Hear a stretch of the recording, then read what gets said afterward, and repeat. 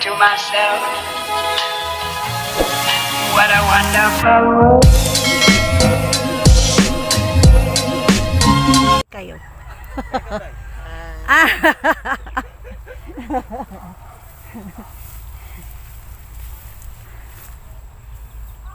So ayan nga mga guys, it's harvest time. Nandito ako sa farm ng Ampalaya ni Kuya. Ayan no. Nag-harvest sila. Binalikan ko talaga tong harvesting eh.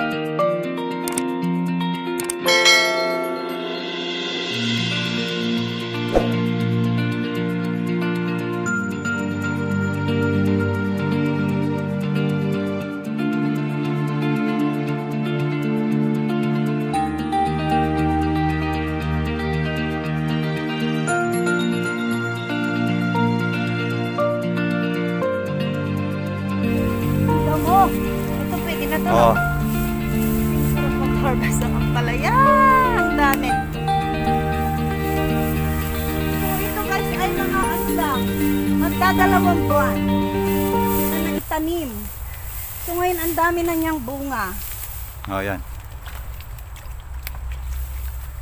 Wala. Ay, ang damo-damo. Pag uwi ko niyan, puro damo yung pagkalog ko. Ang dami. Ilang kilo ang naha-harvest nyo tuwing harvestan? Mga? Kalahating tinulada. Yan, yan. Gaano karami yung ga, ga, 500. 500 kilos? Mm. Ay, hindi ako marunong. Ha? Yan. Pwede na ka? Ito pa? Mm. Ito dito ka banda, oh. Para di ka mahirapan. Hindi pwede yan. Ba? Yan, yan. Ito, oh, ang laki. Yan. Ito, pwede na to. Oo. At saka yung mga baluktot, kinukuha nyo na. Oo. Ito pa, oh, ang dami. Ang dami. Gagagad ko kanyan eh. Mm. Ito, kinukuha na to. Oo. Natatakot ako maghila kasi baka mahila yung ano, yung Yung mga, yan, tama-tama mahabang kuko mo. To, yan, yan, to. Yan. Ah, ito pwede na to. Oo. Ay, ang dami Bray, ko na Bray. guys. Ayan oh. Ayan oh, ang dami. Pawid ako, pawid ako. Saan pa? Yan, yan, yan. oh. Bray. Ang daming nakatago. Nice, ang dami talaga. Ano to eh? Wala pang 2 months, no? Wala. Ang swerte naman ni Kuya Nilo. Tabray, kuna mo tabray. Nakabumagsak sa ano. Yan. Dito pa tayo. Yan. Alisin mo yun. Paghahawa ng sakit. Yan. Ang sarap mag-harvest.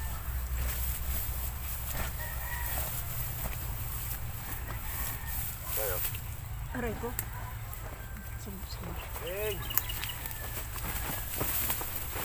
Yan. Ay, guys, so ito na pwede na to? Hindi, hindi pa pwede. Hindi pa to? Hindi pa? So, ganun. Yan, yung baloktot. Tapos na kayo dun sa bandaron? Hindi pa? Mamaya pa lang yan. Ah, ganon? Oo. Mga ilang linya na yung natapos nyo? Ito, ito, ito. Sa ilalim. Saan? Yan. Ay, oo nga. Ang galing mo ah. Eh, nakatanggal na eh. Oo, tinukanan na yan.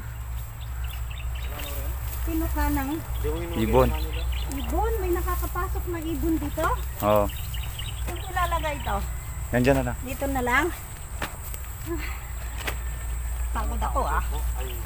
Init ah.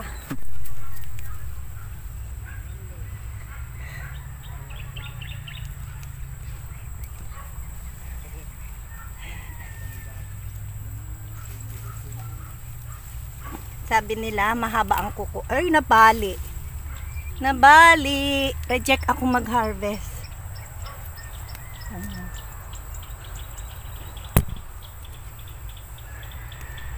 Guys. Oh. Pawis na pawis na ako.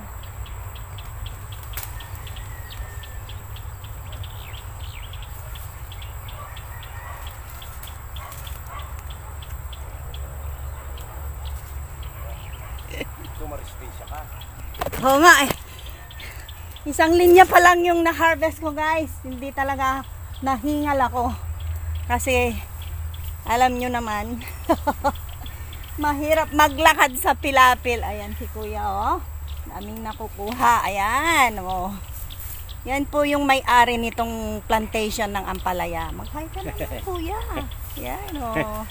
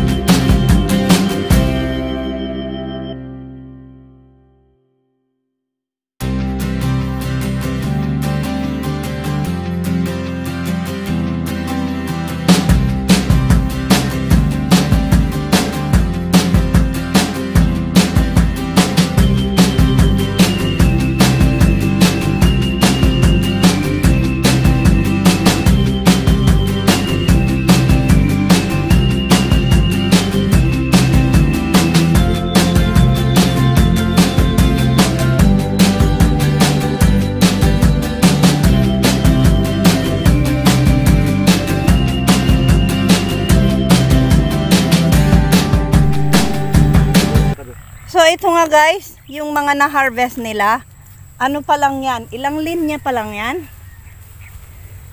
Ito pa, marami pa. Maraming marami pa doon, oh. Ang galing-galing naman. Ayun, yung mga nakasako na yan, puro ampalaya yan, guys. Yan. Yan.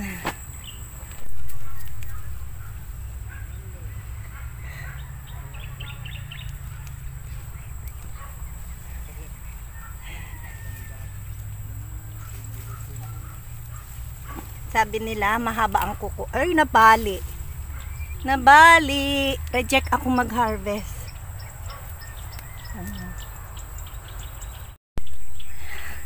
Ayan na hinog sa puno guys. Pwedeng gawing binhi. Ayan. Ayan oh. Pwedeng gawing binhi.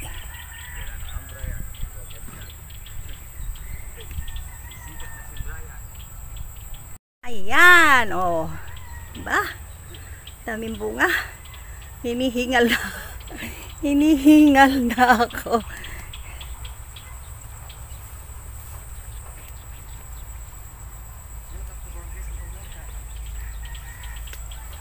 At ang ganda ng kapaligiran dito guys, sa kabila nito ay bukid.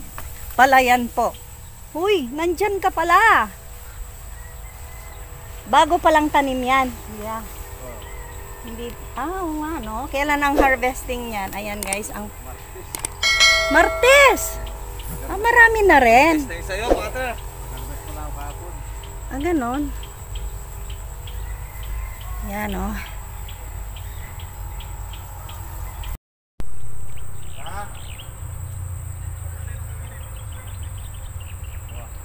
Pag umuwi ka, magdala ka. Uwi na ako. Ang init na eh. Oo. Kasi lang namin Sige. Ayan, oh. Hindi pwedeng dahon. Hindi, no? Bawal, no? Pag pinalbusan. So, ayan nga, guys. Oh, may mga hinog pa. Ayun, oh. Dapat inaalis nyo na rin yung mga ano. Hindi, di ma, ma talaga. Araw-araw may ganyan. Araw-araw may ganyan. Yung mga hinog na yon. Oo. Yan. May mga reject din pala guys. Ayan, maraming reject. Pero mas marami yung hindi. Ayan oh. Ito yung tinatawag nilang sakit ng ampalaya. Paano nagkakaganyan kuya? Bakit nagkakaganito? Hala, suwasan yan sa tubig. Sa tubig. Sobra sa tubig. Ah. Pag umulan, ganon?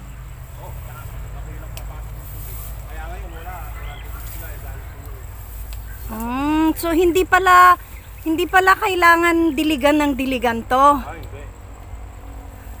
So ito palang pag-aampalaya ay pang summer? Hindi, depende. Depende Taniman din. mga palaya.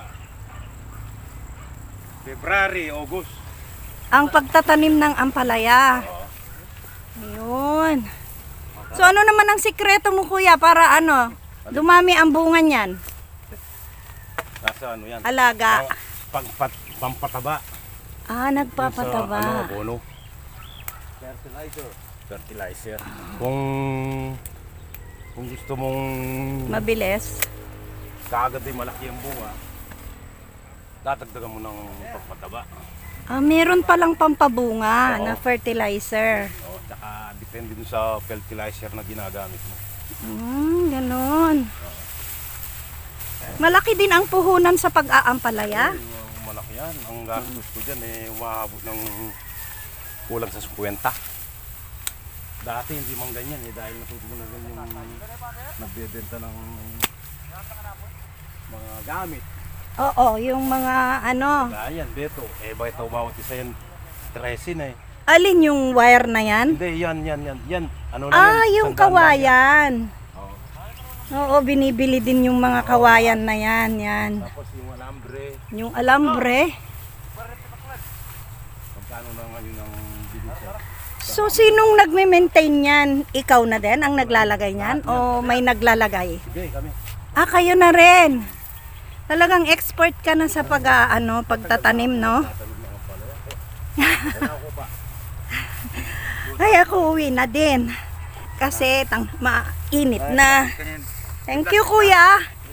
Thank you, mga kuya na nag-assist sa akin dito. Ayan, pahinga daw muna sila konti. Ayan sila, oh. May ano ka, plastic. Ayan. Plastic ka, di man yun?